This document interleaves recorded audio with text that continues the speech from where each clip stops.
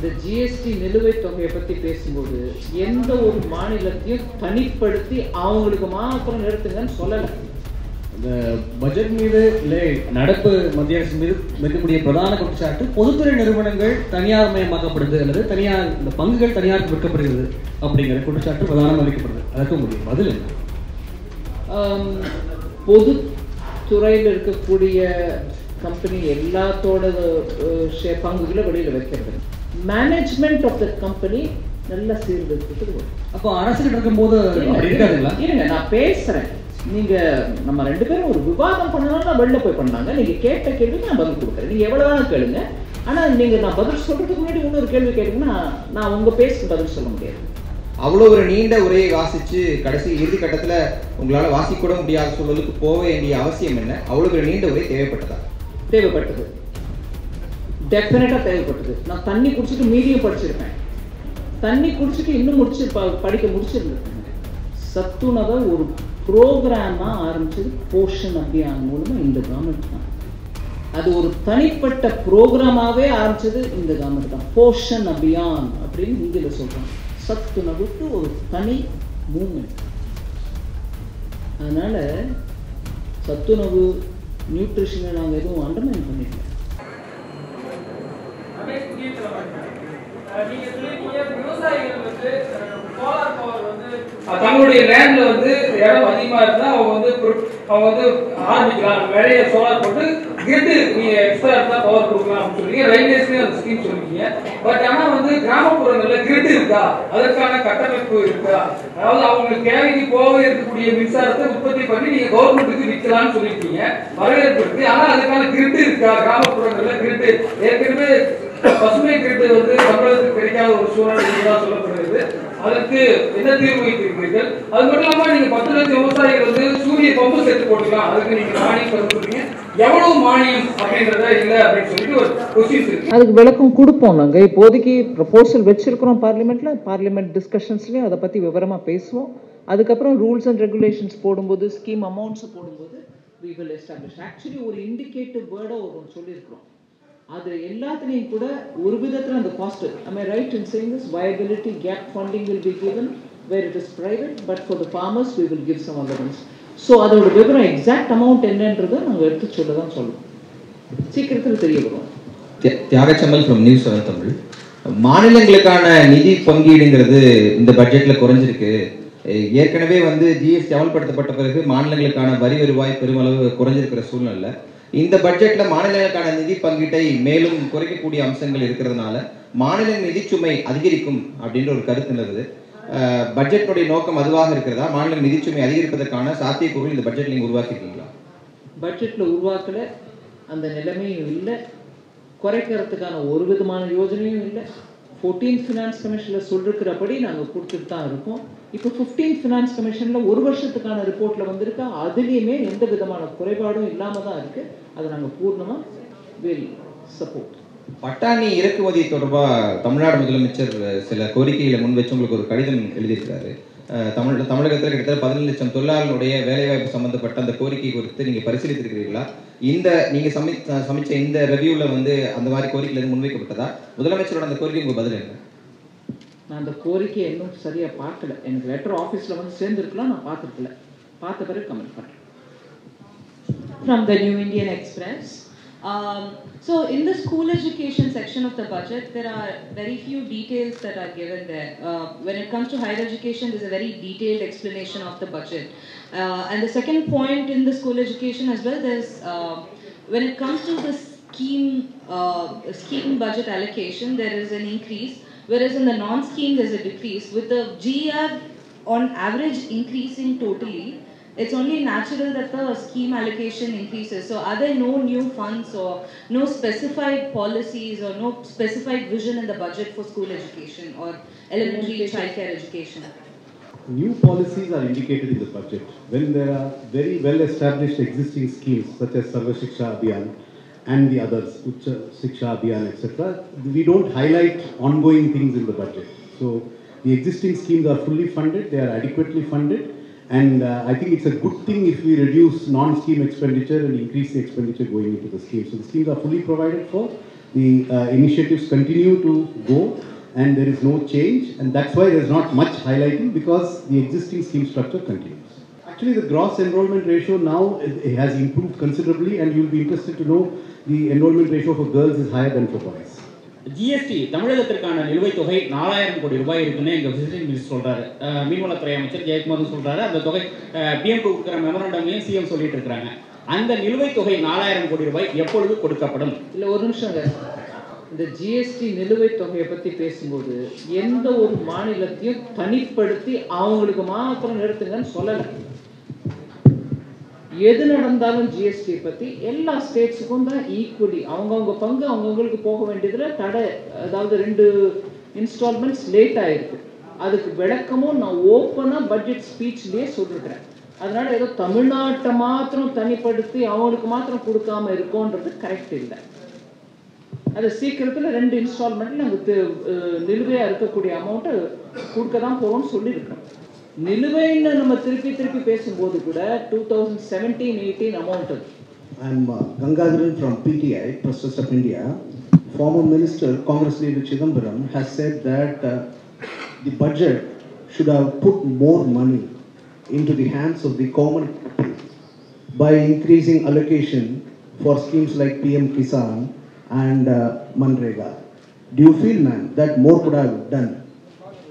PM Kisan through the DPT has now touched more than 8 crores already of farmers. More will also be given the moment states are also reconciling their lists and providing it. So, not reduction, but actually an increase is happening in PM Kisan. Did you name Manrega as the other one? Manrega is a demand driven program. All of us are aware. You're aware, everybody is aware. And when states produce the demand rolls, we keep giving them. In fact, in my budget speech, I've even said Manrega now can also be used for producing fodder in farms so that livestock, particularly in water uh, stressed districts, will be used for livestock and live- live- livestock preservation. So, whether it is Manrega or whether it is PM Kisan, the two particular scheme names that you took, very clearly in the budget, we have made allocation and also specified the scheme through which they will be growing. A bit more attention to the budget would have helped. Hariharan Dinamalar madam madam Chennai Bangalore industrial corridor பட்ஜெட்டில் fund allocation time frame எதுவும் சொல்லுங்க அது நடந்துட்டு இருக்கு it's an ongoing project எஜுகேஷனுக்கு கொடுத்த பதிலே தான் இருக்கும் நிறைய ஆன் கோயிங் ப்ராஜெக்ட்ஸை நாங்கள் திருப்பி திருப்பி ஒவ்வொரு வருஷமும் சொல்லாமல் அது கண்டினியூ ஆகிட்டு இருக்கு uh, for continuation of projects, you know, and government changes at the state level, projects are scrapped, you know, it uh, sends a wrong message to the investors community at large, you know. Andhra is a classical case and Maharashtra is a classical case, and then the uh, investors' confidence at a low level. What should be done at the central level so that these uh, sovereign projects are not scrapped just like that, you know? Well, at best, we can only engage with the states, talk out with them to see how such contracts and honoring of contracts has an impact on all over the country and the general image of the country among investors outside, institutions outside. So we can only keep engaging with states and see how best we can resolve the problem. What damage is caused uh, in the interim, you know, it is already is a lot of damage. Uh, I hope not much damage. But another uh, the, the uh, John Maynard Keynes always said the long run all are dead, you know. But what we have a problem is a short run demand problem. You know. But as the budget, you know, really boosted any uh, demand, you know, wherever I listen to at the industry. Yeah, It's only eight days since the budget has been announced and but, it's not passed yet in the parliament. But do you think the next quarter at least will be a good uh, in terms of the demand? Sorry? Next quarter will be a good uh, in terms of the demand pickup? You're observing the markets and the economy as much as I'm doing. So I'll take your input. Ma'am, just in terms of demand, I just want to point out to you that the rate of increase of expenditure in the budget is well up, it's more than twice the rate of nominal growth in the economy. So there's a 16.5% increase in public expenditure versus a 7.5% rise in nominal growth this year. And for next year, there's a further 13% increase in public expenditure. Ashokan from Times of India. So this is regarding the pro- budget proposal to extend one more year of extension for MSME NPA restructuring. There's a good number that uh, are already being registered, which we have seen in every PSU bank's uh, result copies. So, but still, going forward, I spoke to one of the bankers, PSU bankers, on the very same day, and uh, the receivables for the PA, for the MSMEs has been the major concern. Because one of them, the banker has said, we can do it for one more year as per the uh, need, but still the receivables which is from PSU being stuck to the MSMEs, and this is something which we have seen seen during Diwali also because they have an eight percent uh, norm to meet when it comes to giving uh, a bonus to the uh, to, to all MSME players. So, have, is there any push from the government for these receivables to make the, the payments from PSUs to MSMEs? I'll ask the finance secretary to talk about it, but I know for sure between September, October, and November, the then expenditure secretary, I literally been behind his back and he did deliver on it, it to ensure that the payments which are due for MSME from government, government departments and also public sector undertakings will have to be cleared. Not only did we do that, nearly at that time, much before he left, nearly 60% of all the amount which was pending was cleared. And um, even better was when the corporate affairs secretary, when he did a bit of work and came back to tell us about the private companies who, big ones, who have also kept a lot of money pending for MSMEs for the goods and services that they had delivered. We in fact called the bank managers, the chiefs, and spoke with them to say, now we will give you the details of all those companies who are holding dues for MSME. Now you make sure that those MSMEs are called and discount their bills for them based on the companies which have account in your banks. We've gone that far, but of course he can, uh, secretary can speak Thank more you. in detail. And this 60 percentage is like as of which month, ma'am? Um, I think it was early November, and uh, 60 percent is of 48, no, 58,000 crores at that time. You please go back to checking my own press statements. Don't take my number, which I'm saying now. Go back to see my press statements. Exact numbers were given about what was the total due and how much was cleared of it. Thank you. Ma'am, Divya Vignesh from Yes, one minute, one minute. I want the secretary to add to that answer. There are many more measures which are being taken to ease this working capital and also the payments from uh, the corporates. So number one, as uh, FM announced, told you, this is a new normal now that regular meetings are taking place to push and ensure that PSUs in particular do not keep that money of the MSME. There is a Samadhan portal on which the MSMEs can lodge their complaints and it's very, very meticulously followed. Thereafter, there is a also amendment in the act in the MSME which says that all the corporates above 500 crores have to come on threads along with their MSMEs so that they can discount their bills out there. This is again to ease the working capital. Another announcement which FM made just pre-budget was that all the standard accounts of MSMEs are entitled to get additional 25 working capital till this is being sorted out. Thereafter, another there is a- 25% of the working of the working capital. There is another uh, thing very important which again was announced in the budget that there is a UPI based system which is going to come in force most likely in the April first week which will ease the invoice financing to a very very great extent. Ma'am Divya Vignesh from Sun News இந்த budget மீது இல்லை நடப்பு மத்திய அரசு மீது வைக்கக்கூடிய பிரதான குற்றச்சாட்டு பொதுத்துறை நிறுவனங்கள் தனியார் மயமாக்கப்படுது அல்லது தனியார் இந்த பங்குகள் தனியார் விற்கப்படுகிறது அப்படிங்கிற குற்றச்சாட்டு பிரதானமாக வைக்கப்படுது. அதற்கு முடியும் பதில் என்ன? ஆம், பொதுத்துறையில் இருக்கக்கூடிய கம்பெனி எல்லாத்தோட பங்குகளை வெளியில் வைக்கிறது. மிக முக்கியமா எல்ஐசி மாதிரியான மிகப்பெரிய நிறுவனங்கள் ஆசியாவிலேயே உலகத்திலேயே மிகப்பெரிய பொருளாதாரம் வளமை வளமை படுத்த நிறுவனங்களினுடைய பங்குகள். நீங்க எல்ஐசி பேர் எடுத்தீங்கன்னா அதுக்கும் சொல்றேன். இனிஷியல் பப்ளிக் ஆஃபர்னா என்ன? நாங்கள் ஒன்றும் பர்சன்டேஜ் டிசைட் பண்ணல. எட்டா பத்தா பன்னெண்டா பர்சன்டேஜ் சொல்லலை அந்த அளவுக்கு தான் பப்ளிக் பப்ளிக்னா யாரு? நீங்க நான் இங்க இருக்கிறவங்க நம்ம நாட்டிலேயே இருக்கக்கூடிய மக்கள் வாங்குறதுக்கு ரீட்டைலுக்கு கொஞ்சம் ஒரு பத்து சதவீதத்தை கொடுக்குறோம் அதன் மூலமா எது கொடுக்கணும்? அதன் மூலமா அந்த கம்பெனிக்கும் பொதுமக்களிடையே பார்ட்டிசிபேஷன் இருக்குன்றதுனால கொஞ்சம் டிரான்ஸ்பரன்சி வரும் டிசிப்ளினில் வருவாங்க. ஜெனரல் பாடி மீட்டிங் நடக்கும்போது அவங்க பதில் கொடுக்க வேண்டிய நிலைமை இருக்கும். பொதுவாக மேனேஜ்மெண்ட் ஆஃப் த கம்பெனி நல்ல சீர்திருத்தத்துக்கு வரும் அப்போ அரசுகிட்ட இருக்கும்போது இருங்க நான் பேசுறேன். நீங்க நம்ம ரெண்டு பேரும் ஒரு விவாதம் பண்ணணும்னா வெளில போய் பண்ணாங்க. நீங்க கேட்ட கேள்விக்கு நான் பதில் கொடுக்குறேன். நீங்க எவ்வளவு வேணாலும் கேளுங்க. ஆனா நீங்க நான் பதில் சொல்றதுக்கு முன்னாடி இன்னொரு கேள்வி கேட்டீங்கன்னா நான் உங்க பேசுக்கு பதில் சொல்ல முடியாது. அது என்னுடைய குறை. ஸோ இதனால கம்பெனியோடைய நடைமுறை அவங்களுடைய கம்பெனி மேனேஜ்மெண்ட் சிஸ்டம்ஸ் இன்னும் கொஞ்சம் சரி இது பப் நீங்கள் ஆல்ரெடி கேட்டீங்கன்றதுனால அதுக்கும் பதில் கொடுக்குறேன். ஏன் இப்போ இல்லையா அப்படி? அப்படின்னா இப்போ இருக்கு. ஆனால் பொதுமக்கள் நம்ம நாட்டில் இருக்கிற மக்கள் கூட நம்ம கண்ட்ரியில் இருக்கக்கூடிய இவ்வளோ பெரிய ஒரு கம்பெனியில் நானும் ஒரு பங்குதாரர்ன்ற அந்த ஒரு மக்களிடையே உணர்வு வரும். அதுவும் நல்லது தான் அவங்க அந்த உணர்வோடு அவங்க பங்கேற்றாங்கன்னா அந்த கம்பெனிக்கும் நல்லதுதான்ற அந்த எண்ணம்.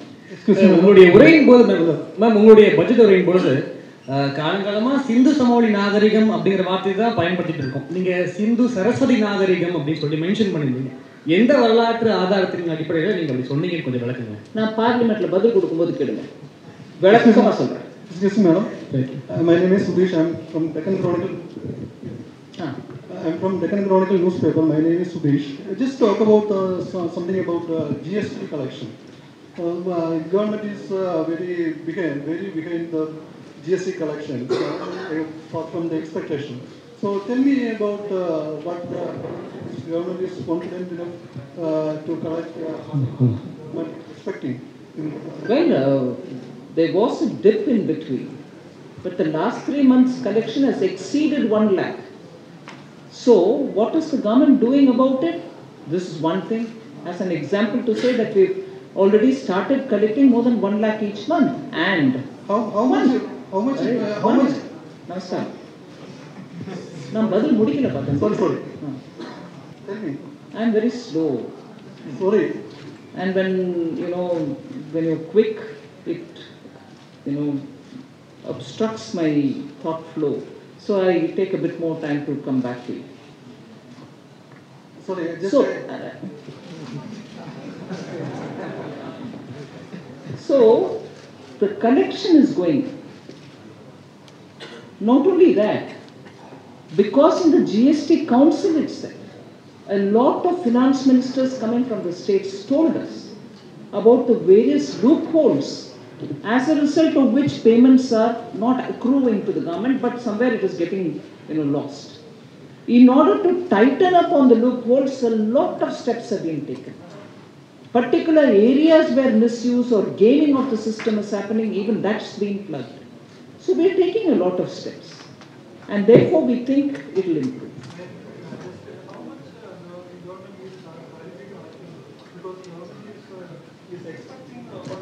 uh, two lakh uh, per year.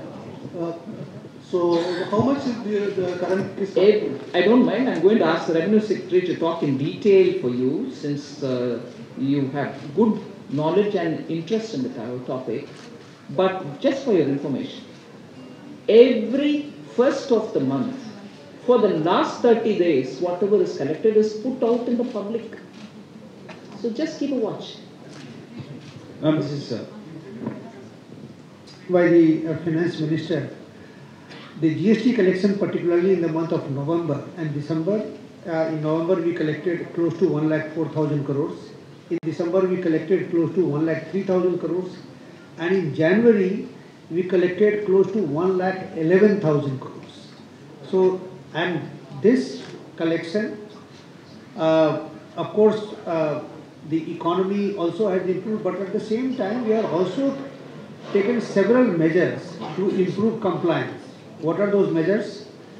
Uh, particularly, we are now using data analytics, uh, having uh, data from the income tax department, the data within the GST itself, data from the customs, data from the export imports, and then we are trying to match and trying to exactly identify, uh, uh, you know, where exactly the problems are and where the taxes are not being paid to the extent that the, the tax should have been paid.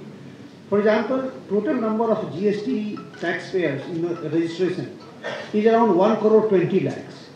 So every month we are generating a red flag report, not of, you know, in terms of lakhs of people, because we don't want to, uh, because what we believe is that a large number of taxpayers are compliant. They are honestly paying taxes, but only a certain fraction of people, and particularly few thousands. So we are generating a red flag reports, several red flag reports where those mismatches are happening. What we are also doing is that we are sending an SMS to all those taxpayers where we are finding the mismatch, saying that this much is your turnover in GSTR1 and 3B, this, is, this much is the, your turnover in the income tax, but here your turnover is less. So if it is within a certain limit, we are sending an SMS. And if the difference is large, then we are communicating to the taxpayer also, and we are also communicating to the tax officers also, so that they could also go and find out, you know, whether there is a genuine reason for this discrepancy or there is some other reason. So all those measures together have helped us in uh, uh, getting the improved, uh, you know, the higher collection without create, without doing any overreach. Because you must have seen that during the last three months, it's not that because of overreach that you know, I mean, we try to harass, uh, you know, the taxpayers uh, and, and try to do something by simply using the targeted approach. You know, identifying the uh, problem areas and then doing a very very targeted and selective approach. We have been able to do that. We will continue this further, and we will further, you know, improve our, uh, uh, you know, the data analytics, data analytics, also to the extent of artificial intelligence, so that the people who are trying to game the systems are identified and they are pursued, and then the honest taxpayers, you know, they, you know, they can be completely free of any hassles. This is Barney from uh, Economic Times. Here. Uh, uh, the DDT has been removed. What is the status of DDT in various courts in the country? In this uh, Bivad to uh, Biswas scheme, there could be, uh, you know, the dispute in any areas. You know, whether it is a question of taxability or in uh, uh, uh, the special exemptions, deductions, depreciation, and also the DDT. It is it is not possible for me to uh, find out, you know, how many cases pertain to the DDT alone. Uh, you know, the information can be uh, taken out and can be put in the public domain at the appropriate time. But then this Vivad to Viswas scheme is open to all. Wherever, regardless of, you know, where the dispute has arisen, is it because of depreciation or it is because of exemptions or it is because of uh, taking some excess, uh, more expenses, at any point whether, wherever this tax dispute has arisen and then if appeals are pending, every taxpayer can take benefit of this scheme and then the uh, total number of appeals that we have identified in the entire country is about 4 lakh 90,000.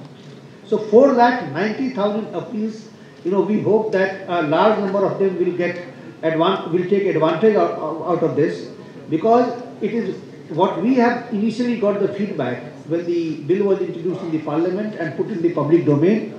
The people are eagerly waiting for this. We are getting lots of uh, inquiries and the phone calls. Then when will this scheme become operational? The scheme will become operational as soon as it is passed by the parliament and also gets the accent of the president. And then uh, this scheme, this scheme, as you already know, that uh, the it is one of the very very uh, attractive the tax dispute resolution scheme where by only paying tax the entire penalty and interest everything is waived.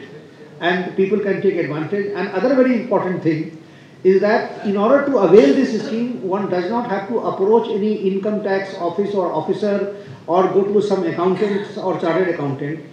Uh, as soon as the bill gets passed by the parliament we will put out a completely electronic interface where the people would go and apply for this scheme they will know exactly that which dispute and how much tax has to be paid and then once the tax gets paid by 31st of March then the dispute will be over the, either the if the appeal is, has been filed by the taxpayer the taxpayer will withdraw the appeal or if the appeal has been filed by the department because there are many cases where the department has filed the appeal. In such cases, the department will withdraw the appeal. And one more thing, once this is done, no more threat of any further prosecution or any further penalty or harassment.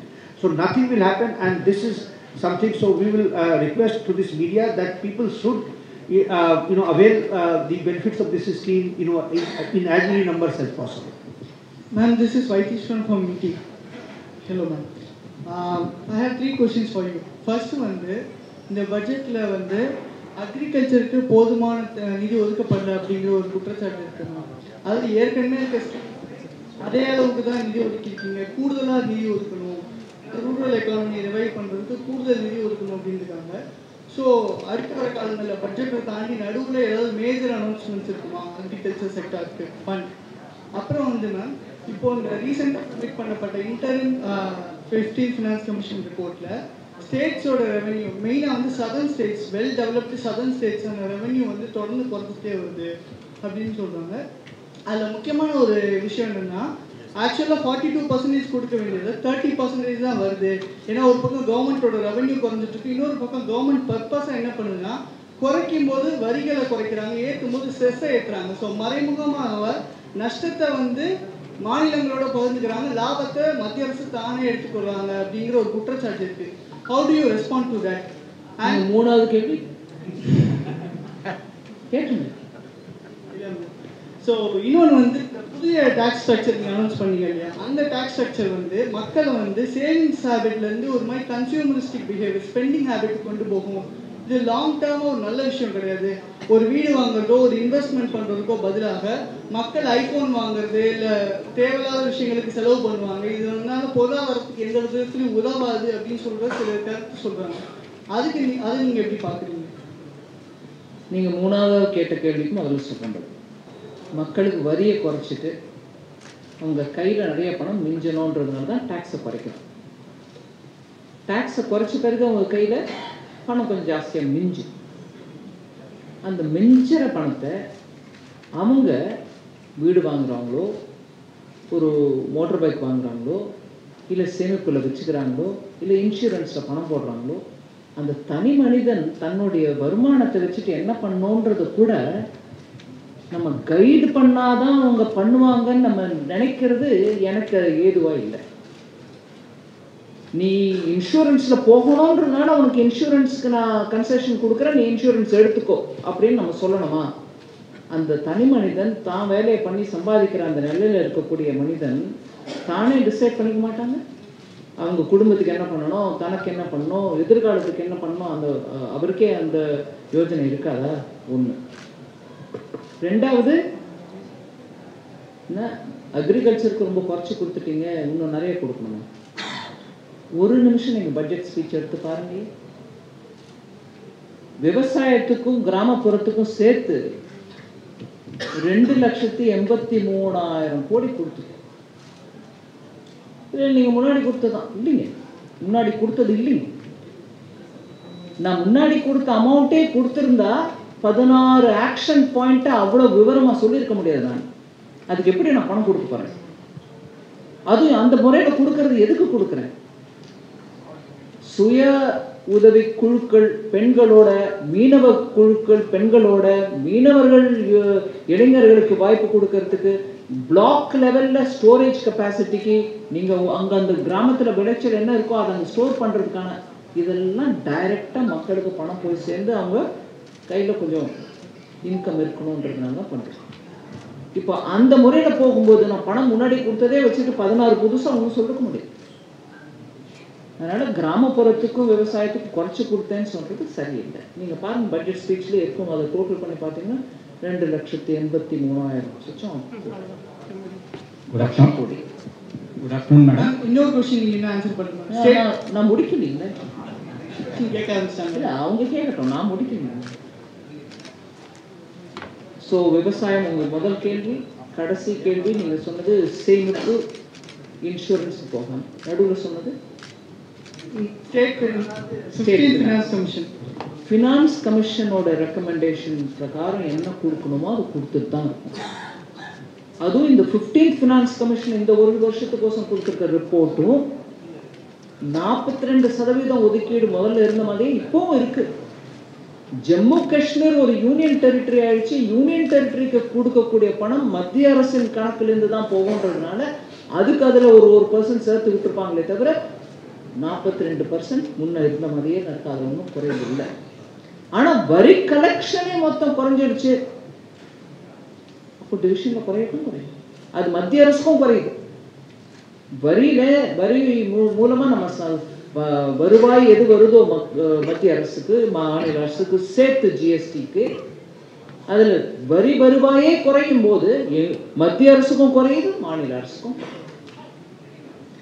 Madam has a flight to catch. May I ask for the last two questions, please? Madam.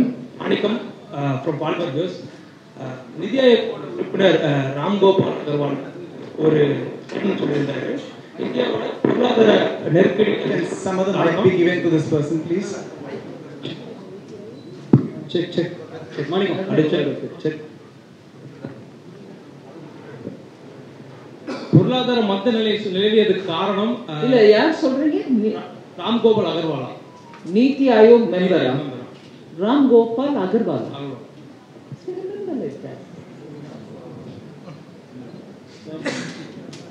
NITI ஆயோக்ல அந்த பேர்ல யாரும் இருக்கிற மாதிரி தெரியல இருந்தாலும் சொல்லுங்க நாங்க கேட்டுக்கிறோம் நீங்க என்ன சொல்ல வரீங்க இவர் அவர் ஸ்டேட்மெண்ட் கொடுத்திருந்தாரு அதாவது இந்தியாவோட பொருளாதார மந்தநிலைக்கு காரணம் ஜிஎஸ்டியோட ராங் இம்ப்ளிமெண்டேஷன் அப்புறம் டிமானிசேஷன் அப்படின்னு சொல்லியிருந்தாரு ஸோ இந்த பட்ஜெட் மூலியமா பொருளாதாரத்தை ஸ்டெபிலிட்டி பண்றதுக்கு என்ன நடவடிக்கைகள் அரசு மேற்கொண்டு அது ஜிஎஸ்டியை பற்றி நான் முதல் கேள்விக்கு பதில் கொடுக்கும்போது சொன்னேன். கலெக்ஷன் இம்ப்ரூவ் பண்ணுறதுக்கு என்ன பண்ணணும்? எங்கெல்லாம் சிஸ்டம் கேம் பண்ணுறாங்களோ அதை நிறுத்துறதுக்கு என்ன பண்ணணும்? கேப்ஸை ப்ளக் பண்ணுறதுக்கு என்ன பண்ணணும்? எல்லாம் நாங்கள் எடுத்துட்டு இருக்க முயற்சியை விவரமாக கொடுத்துட்டு ரெவன்யூ செக்ரட்டரி மாசாந்திரம் எவ்வளோ கலெக்ஷன் வருதுன்னு கூட சொன்னார். Good afternoon, madam. I'm Vigesh. Ma'am, Divya திருப்பி நீங்கள் அங்கேருந்து நீங்கள் வந்தால் மாத்திரம் உங்களுக்கு அடையாளம் கண்டுபிடிக்க மாட்டாங்க புதுசாக வேற யாரோ Good கேட்குறேன் afternoon. I'm Vijay Shankar Dave from middle class family. Please sit. But are you a journalist? You're not, no? No. So let me finish with the journalist and then Okay, come back. okay, sorry. Yes. Tell me. Adichanallur ப- அருங்காட்சியகம் குறித்து ஒரு அறிவிப்பு வந்தது ஆனா meanwhile பாராளுமன்றத்திலேயே Keezhadi குறித்தான அறிவிப்பு வேணும்னு சொல்லி கேட்டிருந்தாங்க இந்த கூட்டத்தொடர் முடியறதுக்குள்ள கீழடி குறித்தான அறிவிப்பு ஏதாவது வருமா எஸ் சொல்லுங்க. இந்த பட்ஜெட் கூட்டத்தொடர் முடியும் போதே இந்த கீழடி குறித்தான அறிவிப்பும் வருமா? ஏன்னா ஆதிச்சநல்லூர் குறித்து நீங்க பேசும்பொழுதே பாராளுமன்ற உறுப்பினர்கள் கேள்வி எழுப்பினாங்க இதை பத்தி. கீழடியில் அருங்காட்சியகம் அமைப்பது குறித்தோ அதை அதை பத்தி ஏற்பாடுகள் கொடுத்து. ஸோ இந்த பட்ஜெட் உரையில முடியுமா? அது எனக்கு தெரியாதுங்க. ஆனா ஆதிச்சநல்லூரை நாங்க சும்மா டெல்லியில உட்காந்து டிசைட் பண்ணலைங்க. ஸ்டேட் கவர்மெண்ட்டோட பேசிட்டு அவங்க எனக்கு தெரிஞ்ச வரைக்கும் சப்ஜெக்ட் டு கரெக்ஷன் எனக்கு தெரிஞ்ச வரைக்கும் கீழடியில் ஸ்டேட் கவர்மெண்ட்டு நிறைய முயற்சி எடுத்துட்டு இருக்காங்க இப்போ ஆதிச்சநல்லூருக்கு நீங்கள் பண்ணுங்கன்னு சொன்ன மாதிரி எனக்கு தெரிஞ்சு அது என் டிபார்ட்மெண்ட்டில் நான் இப்போ அதுக்கு தயாராகவும் வரல. பட்ஜெட் டைமில் பார்லிமெண்ட்லேயும் வழக்கம் கொடுக்குறேன். ஆனால் அந்த எந்தெந்த சென்டரில் வைக்க போகிறோன்ற தேர்வு அந்தந்த மாநிலத்தோட பேசி தான் முடிவெடுத்துருக்கோம் அதனால் நாங்களாக ஏதோ இங்கே கொடுக்கணும் அங்கே கொடுக்கக்கூடாதுன்ற எண்ணத்தில் பண்ணலை. Madam last two questions economic சர்வேல தாலினாமிக்ஸ் அப்படின்னு தாலினாமிக்ஸ் அப்படின்னு ஒரு புது நாமல் கிளேச்சர் கிரியேட் பண்ணி அது ஒரு எக்ஸ்பிளனேஷன் கொடுத்துருந்தாங்க. ஒரு சாமானிய இந்தியனுடைய டயட் வந்து மாடர்னைஸ் ஆயிடுச்சு அப்படின்னு ஒரு எக்ஸ்பிளனேஷன் கொடுத்துருக்காங்க. எக்கனாமிக் சர்வேல அப்படி ஒரு எக்ஸ்பிளனேஷன் வர வேண்டிய தேவை எந்த இடத்துல வந்தது? எதை ஜஸ்டிஃபை பண்ணுறதுக்காக அந்த ஒரு விஷயம் அதில் முன்வைக்கப்பட்டது? ஒன்று. இரண்டாவது இந்த கடந்த சில பத்தாண்டுகளில் இவ்வளவு நீண்ட ஒரு பட்ஜெட் உரையை எந்த நிதியமைச்சரும் வாசிச்சதில்லை. அவ்வளோ ஒரு நீண்ட உரையை வாசித்து கடைசி இறுதி கட்டத்தில் உங்களால் வாசிக்க கூட முடியாத சூழலுக்கு போக வேண்டிய அவசியம் என்ன? அவ்வளோ ஒரு நீண்ட உரை தேவைப்பட்டதா? தேவைப்பட்டது. டெஃபினட்டாக தேவைப்பட்டது. நான் தண்ணி குடிச்சிட்டு மீதியும் படிச்சிருப்பேன். தண்ணி குடிச்சிட்டு இன்னும் முடிச்சு படிக்க முடிச்சிருந்துருப்பேன். நம்ம எல்லாரும் என்ன பேசுகிறோம் இன்னைக்கு எக்கானமியில் இருக்கிற நிலைமையில நீங்கள் அக்ரிகல்ச்சருக்கு பண்ணீங்களா? ரூரல் டெவலப்மெண்ட் பண்ணீங்களா? இண்டஸ்ட்ரிக்கு பண்ணீங்களா? காமர்ஸ்க்கு பண்ணீங்களா? சயின்ஸுக்கு பண்ணீங்களா? படிப்புக்கு பண்ணீங்களா? ப்ரைமரி எஜுகேஷன் பண்ணீங்களா? சரி சும்மா ரெண்டு வாரம் அது ப்ரிப்பேர் பண்ணிட்டு பட்ஜெட் ப்ரிப்பேர் பண்ணிட்டு பேசியிருக்காங்க. அப்படின்னா ஒத்துக்கிறேன். ஜூலை மாதம் பட்ஜெட் கொடுத்தப்போலேருந்து நான் எல்லாரும் உட்காந்து ஒவ்வொரு செக்ஷனோடையும் பேசி அவங்க பத்து சஜஷன் கொடுத்தா அட்லீஸ்ட் ரெண்டு அப்போ ரெஸ்பான்ஸ் பண்ணிட்டு மீதி எட்ட விட்டுறாம அதையும் எடுத்துக்கிட்டு நம்ம எக்கானமியில் எல்லாருக்கும் எல்லாம் அவங்க அவங்க கேட்டது கொடுக்க முடிஞ்ச அளவுக்கு கொடுக்கணுன்ற அந்த லெவலில் இருக்கும்போது ப்ளஸ் இவ்வளவு முயற்சிகள் நடந்திருக்கும் போது அதுக்கும் ரொம்ப ஜாக்கிரதையாக ஃபினான்ஸை ஒரு அளவு கடந்து செலவு பண்ணிட்டோம். அதனால பேங்க்குக்கு கஷ்டம் வரப்போகுது ஃபிஸ்கல் டெபாசிட் டெபிசிட்டுக்கு கஷ்டம் வரப்போகுது. அதெல்லாம் கூட யோசிச்சுக்கிட்டு பண்ணும்போது இவ்வளோ இருக்குங்க சொல்றதுக்கு. இதில் நீங்கள் கேள்வி கேட்காம விட்டது ஒன்று இருக்கு. நீங்கள் பல பேர் பாண்ட் மார்க்கெட்டில் நம்ம என்ன மாதிரி முயற்சி எடுத்திருக்கோன்றது அதன் மூலமாக இன்டர்நேஷ்னல் லெவல்லேருந்து நம்மளுக்கு வரக்கூடிய இன்வெஸ்ட்மெண்ட் எப்படி வரும்ன்றது நம்ம பங்கு சந்தையில் இன்னும் எத்தனை முயற்சிகள் எடுத்திருக்கோம் அதன் மூலமாக நாட்டில் பங்குதாரருக்கு எத்தனை நியாயமாக நடக்க போகுதுன்றது இதெல்லாம் கூட இருக்கிறது எடுக்க வேண்டிய தேவை தருணம் இதுதான். அதனால எடுத்தோம். சாரி ஒத்துக்கிறவங்க எல்லாருக்கும் கஷ்டமாயிடுச்சு. ரெண்டரை மணி நேரம் அந்த அம்மா என்ன பேசுதுன்னு நினைச்சிங்களோ என்னவோ பட் எனக்கு சொல்றதுக்கு விஷயம் இருந்துச்சு. சொல்றதுக்கு விஷயம் இருந்துச்சு அதை செயல்படுத்துறதுக்கான கடமை எங்க மேல இருக்கு நாங்க பண்ணுவோம். அதனால தவிர்க்க முடியாத அளவுக்கு அவ்வளோ நேரம் பேச வேண்டிய தேவை வந்தது. அது ரெக்கார்டு நான் கிரியேட் பண்ணோன்றதுனால பேசல. ஆனால் எக்கானமி மீத ஒவ்வொரு அம்சத்தின் மேலேயும் நாங்கள் அவ்வளவு கவனம் கவனம் செலுத்தி அதுக்கு ஒரு ரெஸ்பான்ஸ் கொடுக்கணுன்றதுனால பண்ணேன் அது உங்களோட முதல் கேள்வி. ரெண்டாவது நீங்கள் கேட்டது தாலிமானிக்ஸ் முதல்ல first of all chief economic adviser to the minister of finance CA அவர் மூலமாக ஒவ்வொரு வருஷம் எக்கனாமிக் சர்வே வரும். நான் அதனால் அதை ஒதுக்கி வைக்கல. ஆனால் ஒவ்வொரு சர்வேயும் சீஃப் எக்கனாமிக் அட்வைசரோடைய அசஸ்மெண்ட்டோட அதில் வருது. அதில் நிறைய விஷயங்கள் அவரோட சொ அவருடைய ரிசர்ச் மூலமா இது இப்படி பண்ணலாமே அப்படின்னு அவர் முன்வைக்கலாம். அது ministry minister plus government of இந்தியாவோட ரிப்போர்ட் இல்லை. ஆனால் அட் த சேம் டைம் நான் அதுக்கு எங்கள் ரிப்போர்ட் இல்லைன்னு ஒதுக்கலை. அது ஒரு அட்வைசரோட ரிப்போர்ட் ஒவ்வொரு வருஷமும் பல ப- பல சிஏஓக்கள் மூலமாக வந்திருக்கிற ரிப்போர்ட் நிறைய இதுக்கு முன்னாடி இருந்த ஒருத்தர் வந்து யூனிவர்சல் பேசிக் இன்கம் இருக்கணும் அந்த நாட்டில் அப்படின்னு போட்டாங்க. போட்டாங்க. என்னாச்சு? ஏற்புடையதாக இருக்கிற கருத்துக்கள் நிறைய ஏற்க முடியும். அதனால அவங்க புதுவிதமான எண்ணங்களும் பரிசீலனை பண்ணுறதுக்கான புது விதமான யோஜனைகளும் எடுத்துகிட்டு வர்றது அவங்க அவங்க டியூட்டி அவங்க பண்ணுறாங்க தாலினாமிக்ஸ்ல ஒரே ஒரு பாயிண்ட் நான் சொல்ல விரும்புகிறேன் இன்ஃப்ளேஷன் கண்ட்ரோல் இருந்தது பர்டிகுலர்லி ஃபுட் இன்ஃப்ளேஷன் கிட்டத்தட்ட அஞ்சு வருஷமா அதை மெயின்டைன் பண்ணதுனால தான் அந்த தாலினாமிக்ஸ் மூலமா அவர் என்ன சொல்லியிருக்காருன்னா இன்னைக்கு ஒரு ஒரு பொழுது நீங்க போய் சாப்பிட்றதுக்கு செலவழிக்கிற பணம் எவ்வளவு? நீ வெஜிடேரியனா இருந்தா எவ்வளவு? நான் வெஜிடேரியனா இருந்தா எவ்வளவு? அதுல ஒரு விதமான இன்க்ரீஸும் ஆகலை. அதனால ஃபுட் இன்ஃப்ளேஷன் கண்ட்ரோலில் இருந்துச்சுன்னா அதுவே மக்களுக்கு ஒரு சேவிங்ன்ற அந்த ரூட்டில் போய் அவர் அதை விளக்கம் சொல்லியிருக்காரு. ஸோ அது சொல்ல வேண்டிய தேவை என்ன? இதுதான். இன்ஃப்ளேஷன் கண்ட்ரோலில் வச்சுருந்தா ஒரு கவர்மெண்ட்டு அதுவே மக்களுக்கு ஒரு விதமான சேவிங் கொடுக்கக்கூடிய பவர் இருக்குது நீங்கள் இன்ஃப்ளேஷன் அதிகரிஞ்சு போய் ஆகாசத்தை முட்டுச்சு தொட்டுடுச்சுன்னு வச்சுக்கோங்க. ஒரு பொருள் டென் பர்சன்ட் இன்ஃப்ளேஷன்ல இருக்கும்போது உணவுப் பொருள் நீங்க வாங்குறதுக்கான செலவு பண்ணீங்கன்னா அடிஷ்னல் செலவாகுது ஆனால் குறைச்ச பொருள் தான் கிடைக்குது. ஆனால் இன்ஃப்ளேஷன் கண்ட்ரோல்ல இருந்தபோது எடுக்கும்போது அதே பொருளுக்கு நீங்க குறைச்ச விலை கொடுத்து வாங்குறதுனால உங்க கையில மிச்சம் இருக்கும் பணம். தட் இட் செல்ஃப் இஸ் சேவிங்ன்ற அந்த பாயிண்ட்ல போயிருக்காரு. பள்ளி மாணவர்களுக்கான அந்த ஊட்டச்சத்திற்கான பணம் வந்து குறைக்கப்பட்டிருக்கிறது மானியம் வந்து குறைக்கப்பட்டிருக்கிறது. மல் நியூட்ரிஷன் ஆயிருக்கக்கூடிய நேரத்துல அதை குறைச்சிருக்கீங்கன்னு ஒரு வாதம் வைக்கப்படுது. பெட்ரோல் டீசல் ஒரு நிமிஷம் ஒரு நிமிஷம் ஒரு கேள்வின்னு சொல்லிட்டு ப்ரொபோஷன் பெட்ரோல் எல்லாம். பெட்ரோல், டீசல், ஒரு நிமிஷம். நீங்க பெட்ரோல் டீசல் கேளுங்க. நீங்க போஷன் சத்துணவு பத்தி பேசுறீங்க சத்துணவை ஒரு ப்ரோக்ராமாக ஆரம்பிச்சது போஷன் அபியான் மூலமாக இந்த கவர்மெண்ட் தான். அது ஒரு தனிப்பட்ட ப்ரோக்ராமாவே ஆரம்பிச்சது இந்த கவர்மெண்ட் தான். போஷன் அபியான் அப்படின்னு இந்தியில் சொல்றாங்க. சத்துணவுக்கு ஒரு தனி மூமெண்ட் அதனால சத்துணவு நியூட்ரிஷனை நாங்கள் எதுவும் அண்டர்மைன் பண்ணிடல ஜிஎஸ்டி வரதுக்குள்ள கொண்டு வரலைன்னா வந்து மக்களுக்கு கிட்டத்தட்ட டுவெண்ட்டி எயிட்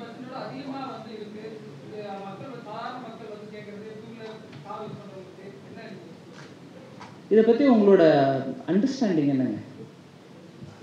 இல்லை ஒரு நிமிஷம் நான் கே நான் கேட்குறது பதிலாகவே நான் கேள்வி கேட்குறேன் நம்ம எல்லாருக்கும் இந்த ஜிஎஸ்டி விஷயத்தில் பெட்ரோலை பற்றி என்ன நம்மளோட நம்மளுடைய இந்த விஷயத்தை என்ன எப்படி புரிஞ்சுக்கிட்டு இருக்கோம் மத்திய அரசு ப- வரவிடாம தடுக்குதா?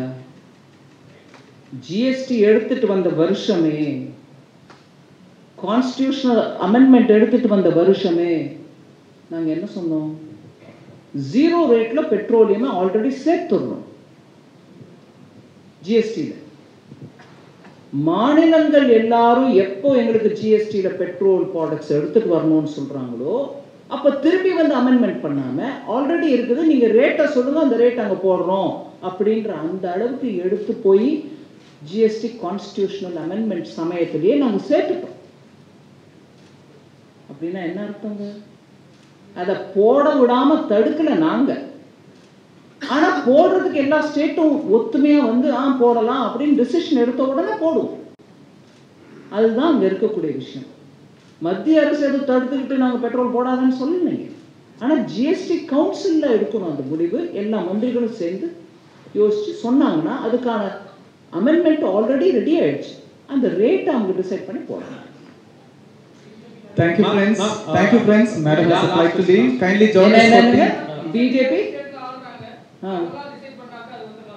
GST கவுன்சில்ல எல்லாருக்கும் சமமான வாக்குரிமை இருக்கு பேசுறது அங்க மன்னிச்சிருங்க நான் இப்படி சொல்றேன்னு குதர்க்கமாக பிஜேபி பிஜேபி ஸ்டேட் இருக்குல்ல அங்க பண்ணி காட்டுங்கன்னு சொல்றது முறை இல்லை ஜிஎஸ்டி கவுன்சில் தான் அதுக்கான தீர்வு எடுக்கணும் நீங்க இது முதல்ல பண்ணி காட்டுங்கன்னா அது கான்ஸ்டிடியூஷனலி வேலிடா இருக்காது கவுன்சில் டிசைட் பண்ண பிறகு தான் எந்த ஸ்டேட் ஆனாலும் டிசைட் பண்ணும் அதுக்கு மாற்று வழி இல்லைங்க